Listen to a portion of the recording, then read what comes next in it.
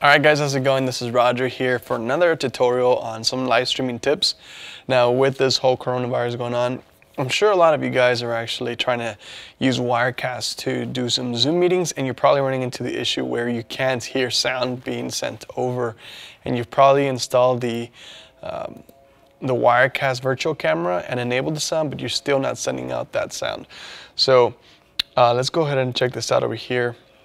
All right, so here we are on uh, Wirecast, and right now I'm running the demo version because I forgot to sign out of my laptop, which is not here.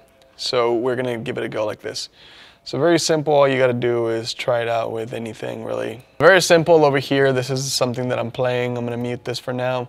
But let's say that we're actually sending out some um, virtual camera out, all you gotta hit is start, yeah? And that essentially is supposed to start out your virtual camera. But you do have to make sure that you have the direct, uh, the virtual microphone selected. That way you can start. Ideally, Zoom only needs 720p. So let's try if it, even 1080 works. If it does, good. So we'll do virt virtual camera out. We will start. So the problem is that if you go to your Wirecast virtual camera and you start your video, you'll see what you need to see but the only problem we're encountering is that when you open up Zoom, even though you have the Wirecast microphone and the Wirecast video, you have some problems uh, with it actually transmitting. Now over here, I can't hear anything, so the audio isn't coming through. So I'm pretty sure a lot of you guys are frustrated, but the answer is pretty simple back over here on the actual panel. All you have to do is go to your preferences, and then you're just going to go to your audio playback, and you're gonna click Wirecast. So speakers, Wirecast virtual microphone. And immediately, over here, I'm getting sound.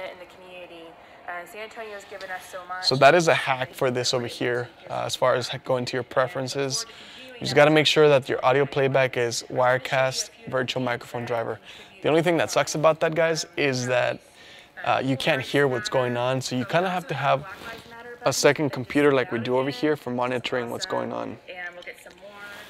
Now, if you don't have another PC to be able to monitor your levels, you can at least see down here in the Zoom call uh, that you do have that.